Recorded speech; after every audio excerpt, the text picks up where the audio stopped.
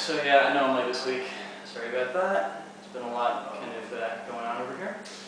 So, um, uh, so been playing around with these wall plane CAP patterns that end in the stalls, and trying to do the same pattern, but bisect them the other way. Which, as you can see, it's come a long way in the past couple weeks. And I'm almost getting to the point can just alternate straight between them, I'm not quite there yet.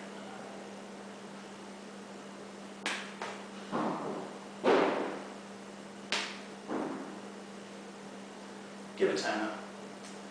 Um, yeah, in other news, uh, a couple weeks ago, there was a gentleman who was commenting on uh, my anti-spin butterfly flowers, namely that when I'm doing this CAP pattern, and I break out of it into uh, butterfly anti-spin. He was saying that I wasn't doing a quite symmetrical uh, flower as I was coming out of it, which in the past week I've been just doing ridiculous turn drills, trying to get it to the point where those flowers are looking better. And then I stopped and I realized um, I think actually what he means is, so when you're doing a CAP, the node, the place where the anti-spin petal kicks in, is straight out in front of you, right?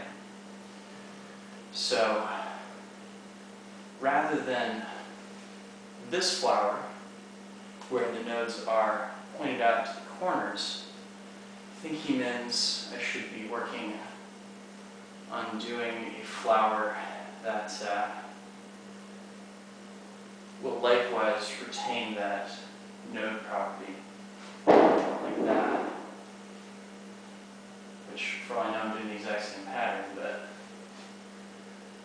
um, the idea of doing that node here, node here, node here, node here, which means more practice. But I'm trying to teach myself how to do it by um, starting with an inverted kind of pattern here, switching between linear isolations.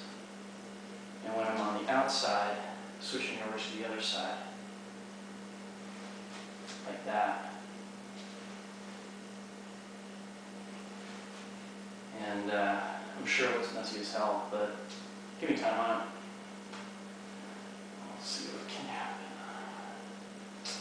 Um, aside from that, I saw a cool video of Yuta doing these plane bending stalls, I can't get enough of. So I've been uh, tinkering around a lot with those. The idea there being that uh, if you get the poi stalled straight down, for all intents and purposes, it could be either this plane or it could be in this plane. So when you stall there, it's just as easy to reverse, or rather, uh, change the orientation of the plane. Um, it, same course is true from the east side, so. Oops.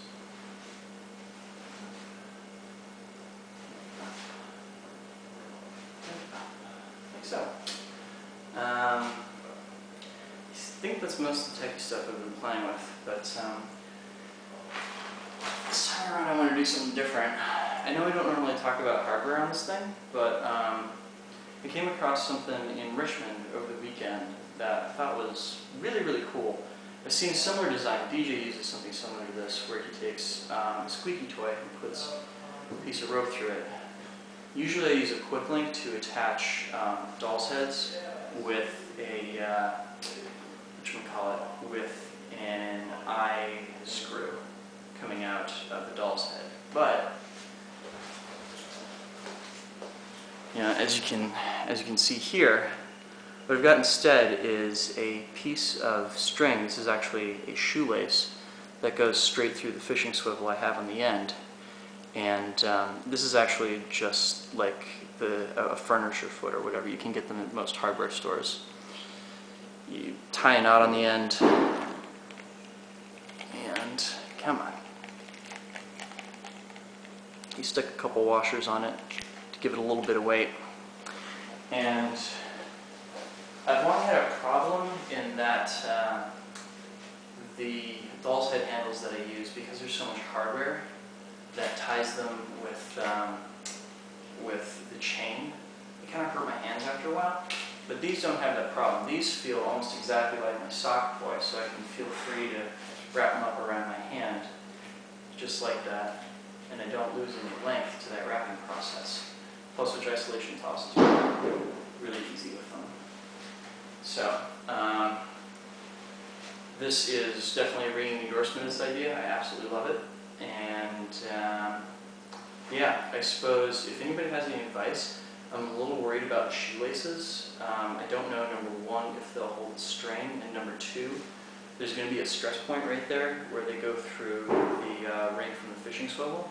If anybody knows of any good fire-resistant cord that is going to be of the same size, that uh, worry less about it fraying and thus uh, have to stress a little bit less about checking it out before I perform with it, that'd be awesome. Cool. Thanks a lot for watching, guys. I'll see you next week.